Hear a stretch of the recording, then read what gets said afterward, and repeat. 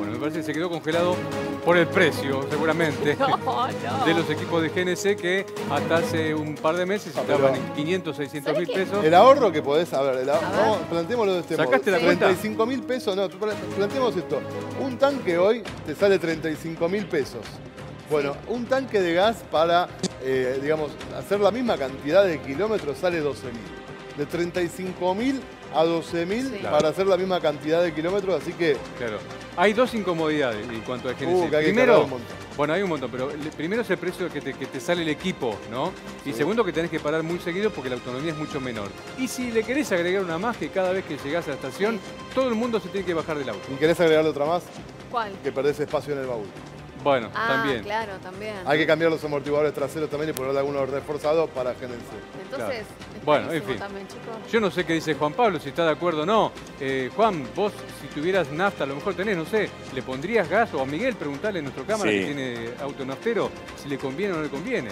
¿Qué hacemos? Sí, son, no, naftero. No, los, los que andan rápido, por lo menos este, se preocupan porque, porque el auto tenga cierta este, continuidad en esto de, de- de andar este, y, y recorren además este, largos trayectos y no trabajan es- específicamente eh, como los taxistas que van, vienen y que tienen además donde parar, porque ya saben en qué estaciones parar. Tienen como un Claro. armado, yo decía, un mapa para poder este, salir este, a trabajar y encontrarse con las estaciones de gas, que tampoco son tantas. Eh, está claro que más allá de ese costo, ese costo se amortiza rápido. Hablo de entre 900, un millón, un millón doscientos mil pesos, que es lo que cuesta el, el equipo. Después son gastos de trámites mínimos este, que no, no, no terminan de modificar ese número. Y entonces eh, lo, lo que se ve es, bueno, acá ves poco movimiento, todavía es temprano, allí la gente que, que sale, este, que va, va cargando, le pedimos que pare un segundito. ¿Cómo te va? Bueno, el gas es la opción para andar en auto porque si no es dificilísimo. Sí, la verdad que sí. Olvídate. A, a Nasta eh, eh, guardás el auto y no lo sacás más. ¿Y hace cuánto que estás con, con, con esto? Nosotros lo pusimos hace un año porque ya empezaba, o sea, ya lo tenemos hace un año y medio porque ya hace un año y medio que venimos con el tema este del de que no se puede más. O sea, no podemos más. La nafta no, acá por lo menos podemos seguir viajando. Buscamos, buscamos. Acá está barato, porque hay lado que ya está. ¿Cuánto te costó? ¿Y cuánto cargamos ahora? Eh, 3100. 3.100. ¿Y con eso qué haces? ¿Sabés cuánto haces? Sí, hacemos 180 kilómetros nosotros. Ah, Ahí va, ahí está el dato entonces. bueno, el dato ahí está. 180 con cuánto dijo? Y decís que en otros lugares está más caro. Sí, tres, tres Nos vamos, nos vamos, nos vamos que no- se van a enojar con nosotros que estamos cortando el tránsito. Sí, ¿Qué llevaba Este, Juan ahí? Más allá de las cuestiones legales. Para hacer una mudanza, No más sé, o no alcancé a ver. Eh, la camioneta grande. Sí, no sé si. Pero bueno, aprovechan todo, aprovechan la camioneta, claro. aprovechan los mejores precios que, que haya en, en- 2100 dijo dentro para de las estaciones de 180. gas, por eso vinieron aquí a, a la calle México, ¿no? 2.100 pesos, a ver, repasemos, Juan, para hacer 180 kilómetros, ¿no? Dijo la señora. Sí, eh, no sé si era 2100 o 3100, no llegué a escuchar bien. Estamos sacando cuentas igual, ¿eh? Es, es muy, muy ¿En conveniente serio? para ir a aquello a Mar del Plata que tenés No, olvidate. 400 kilómetros. 400 y vos más. pensás que ese, o sea, son 18 litros de nafta, si calculamos una, un promedio de 10 kilómetros por litro, que es lo que hace el promedio de cualquier auto en ciudad, son, eh, a nafta son 12 mil pesos y eh, dijo 2.100 Sí. que le cobraron. Así que hay una gran diferencia. Obviamente después el auto con GNC requiere otro tipo de mantenimiento, que, pero la Y verdad no tiene que tanta potencia como una no nafta, tiene tanta la potencia, pero cuando vas a Mar del Plata y parás y en vez de cargar 35 mil pesos, 40 mil, eh, le pones eh, 12, 7, 8, Claro, 12, 12, ponele. te- te- obviamente que ahí no te importa si el auto anda un poco más fuerte o no. Y la verdad que sí. La verdad que no. Igualmente, eh, yo no sé, Juan, a lo mejor en algún tiempito se va a venir un aumento en el GNC, porque si estamos hablando de que las Lo empresas dijiste de manera tímida porque sabemos que va a Y suceder, sí, ¿no? Y sí, tenemos indefectiblemente como sí. Hay que ver si sigue conveniendo tanto, ¿no? Eh, porque también va a subir el, el precio de los Claro. equipos aún más. En fin, eh, el gas va a aumentar en las casas. A ver, Entonces, si el, el aumento, el aumento del gas, el aumento del gas va a ser por 5.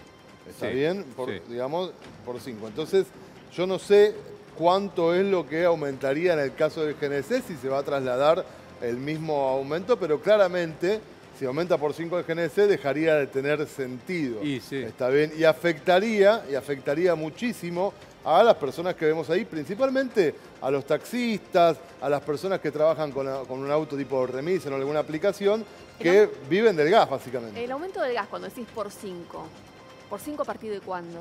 Esto sería a partir de mayo. Marzo. No, Ah, mayo, mayo, mayo. porque vos vas a tener aumentos de 33% en febrero, en marzo, en abril. Ahí llegaríamos al 100% de quita, digamos, te quitarían el subsidio, no es 33%, te quitarían el 33% del subsidio en febrero, marzo y abril. Ahí llegarías a pagar sin subsidio y a esto hay que sumarle un aumento que las empresas pidieron Claro. de eh, 400 a 700%.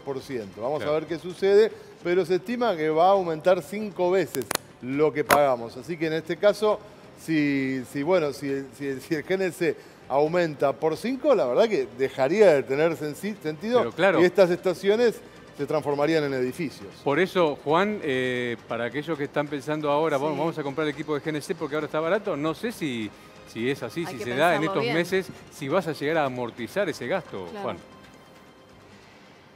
Sí, por ahora, digamos, los datos que hacen, este, la- las cuentas que se hacen, permiten pensar que sigue siendo una posibilidad de amortizarlo. Claro. Está claro que, que- que en términos de, de hogareños el gas y, este, va a modificar para nosotros nuestra economía, pero pensando en lo que sucede con la nafta y que no es que este 30% este, que, que se dio de aumento eh, ya está, se terminó, va a seguir aumentando la También, también. va a llegar, va a tener este, instanci- instancias y creo que siempre esta opción por, por un montón de razones, porque hay gente que prefiere no usarlo aun cuando le cueste mucho llegar con la nafta y cambiando, este, eh, buscando la el mejor precio, prefiere nafta porque prefiere circular de una manera que con gas no lo haces. Esto tiene que ver con el, el modo de manejo, o hay gente que no lo utiliza tanto. Yo creo que en términos de... También hay que pensar, el, el taxista hoy eh, también este, ha modificado este, su modo porque ya no son tantos los taxistas que hay hoy en Buenos Aires, aparecen este, las aplicaciones, hay que ver que la mayoría también de quienes tienen auto para aplicación, algunos ya eh, han comprado el equipo porque también saben que ahí hacen diferencia, Exacto. pero hay otros que prefieren ir rápido, eh, eh, utilizar este, los beneficios de la nafta y pagar un poco más y después eso llevarlo a los precios, ¿no? a lo que implica el costo de, de, por ejemplo, de una aplicación.